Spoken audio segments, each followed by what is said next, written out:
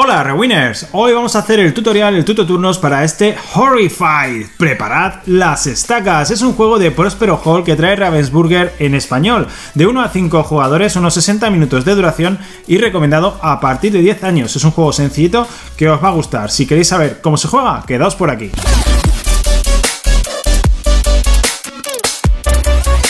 Como os decía en la introducción, vamos a hacer este tutorial, tutoturnos de Horrified, un jueguecito, bueno, pues bastante sencillo, pero que tiene un puntito muy agradable de jugar, por no decir la espectacular presentación en mesa y el diseño gráfico que me flipa, ya lo sabéis. Bueno, vamos directamente a ello. Lo primero, preparación. Tenemos el nivel este de amenaza. Si llegamos aquí, pues habremos perdido. Empieza en cero colocamos los monstruos con los que nos queramos enfrentar. En este caso, para una primera partida, te recomienda el monstruo de la Laguna Negra y Drácula. Estos monstruos tienen unas, bueno, pues tienen unas preparaciones especiales y vienen todas escritas aquí. Básicamente a Drácula le vamos a poner sus eh, ataúdes en ciertas localizaciones, ¿vale? Que habrá que... ¿El otro dónde está? 2, 3 y 4 en la cueva. Y al monstruo de la laguna, bueno, pues cambiamos el campamento y bueno, pues nada, iremos progresando, progresando ahí. Aquí te indica también cómo derrotar a cada monstruo, ¿vale? Por otra parte, como veis, el tablero tiene objetos colocados en localizaciones según indica el objeto.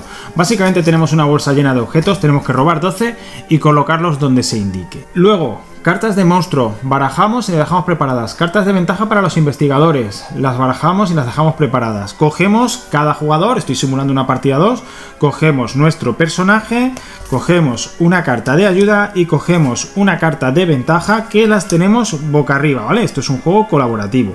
Tengo aquí a los dos personajes. Cada uno empieza en la localización que indica, eh, bueno, ubicación inicial. En el muelle, por ejemplo, el arqueólogo. ¿Cómo se gana y cómo se pierde? Perderemos si tenemos que robar carta de monstruo y no quedan, o si el marcador de terror llega a su última casilla. Ahí perdemos. ¿Cómo ganamos? Derrotando a los dos monstruos. Cada uno tiene un sistema de derrotarlo específico. En este caso hay que pasar por los dos pasos. Tienen como dos pasos iniciales, ¿no? Para progresar y para derrotar. El primer paso es destrozar los ataúdes. Eso significa que en una casilla con un ataúd utilizaremos eh, básicamente objetos por valor de 6 o más, rojos, y colocaremos el ataúd destrozado en el recuadro correspondiente boca abajo. Por otra parte, venced a Drácula en la misma casilla que Drácula, utilizaremos eh, objetos amarillos por valor de 6 o más, el valor lo veis que está arriba, para derrotarlo.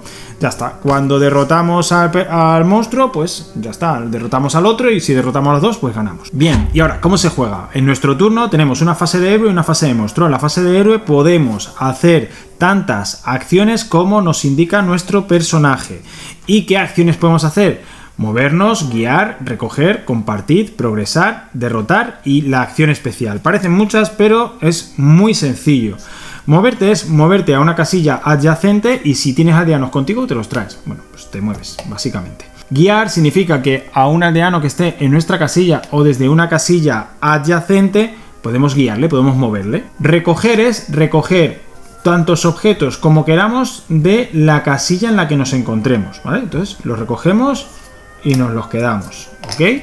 Progresar. Progresar es lo que os comentaba antes de los monstruos. Cada monstruo tiene distintos tipos de progreso. Por ejemplo, eh, para progresar contra el monstruo de la Laguna Negra deberíamos de estar en esa localización, en el campamento, y utilizar pues un objeto que tengamos para mover el barco. El barco se moverá como indica aquí. Bueno, si utilizo el rojo solo se mueve uno. Si utilizase un, un objeto azul se movería hasta ahí, ¿vale?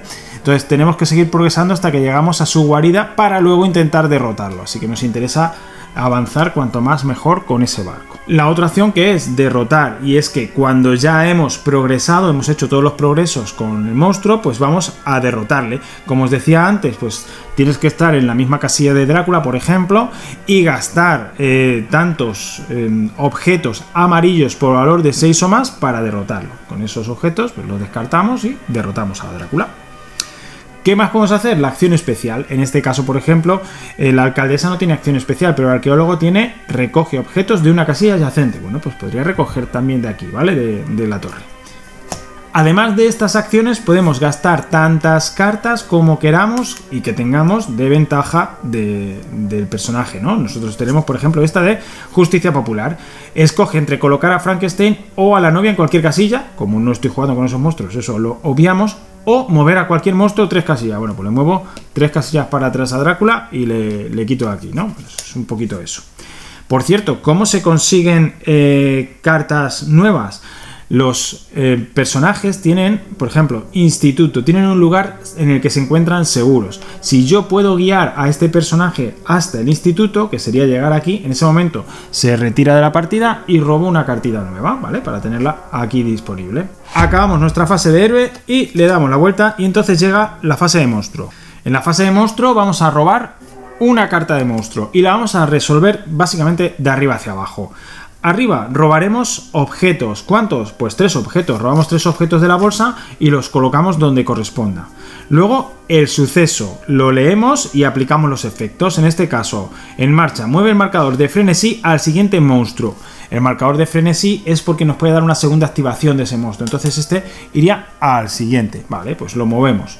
Mueve a cada aldeano una casilla hacia su ubicación segura, lo que os comentaba antes. En este caso, como no tengo aldeanos, que ya veréis cuando os dicen dónde colocarlos, eh, pues nada, lo moveríamos si lo hubiese. Si no lo hay, pues nada.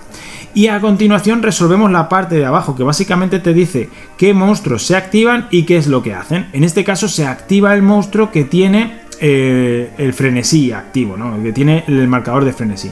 Y aquí te dice, oye, que se mueve 3 y ataca con dos dados. Los monstruos se mueven hacia el personaje o la persona más cercana, que puede ser un aldeano o podemos ser uno de los investigadores. Si estuviésemos juntos, va a pegar primero al investigador, ¿vale? Ok, en este caso, mover 3 y atacar con 2. En este caso, como os decía, se movería el monstruo de la laguna negra. Lo único que tenéis que tener en cuenta es que este monstruo específico se mueve también por agua. Entonces, como veis, hay como unos caminitos por agua que es él quien puede utilizarlos, nadie más.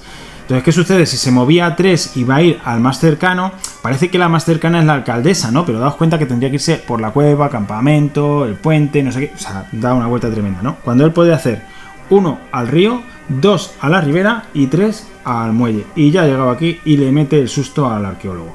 Ahora tiraría con dos dados. Tira con dos dados. Mira, si tira eso, pues no te pasa nada. Si sale la exclamación, resuelve su exclamación, que dice sacudir el barco, retroceder el barco una casilla. Os he dicho antes que estoy avanzando, pues le retrocede una casilla. Si sale un impacto, o dos impactos, nosotros podemos eh, defendernos. Si tenemos, hemos cogido objetos, tengo objetos eh, que los tengo yo, tengo mis objetos, por cada golpe tengo que descartar un objeto para que no me afecte, ¿vale? Para seguir viviendo normal. Ahora, ¿qué puede pasar? Que diga yo, bueno, me da igual, mira, que me, que me dé. Si te da, lo que sucede es que avanza el terror y vuelves a tu casilla inicial. ¿Vale? Luego vas a tener tu turno normal, pero recordad que si el terror llega aquí, pues perdemos. Y recordad también que si no tiene por qué llegar a un héroe, si llega un aldeano que hay por aquí y le atiza, pues también aumenta el terror y iremos perdiendo. Y ya está. No tiene más. Turnos de los héroes que iremos dando vueltas hasta que o bien ganemos o bien perdamos. ¿Se acaban las cartas de monstruo? Perdemos. ¿Se llega al final del track del terror? Perdemos. ¿Que derrotamos a los dos monstruos? Ganamos. Así que vamos despidiendo. Y hasta aquí el tutorial de turnos que hemos hecho de este Horrified. Como siempre, esperamos que os haya gustado, que os haya sido útil. Darle like, suscribiros, dejarnos comentarios, activar la campanita y nos vemos en la próxima. Hasta luego, practicar rewind.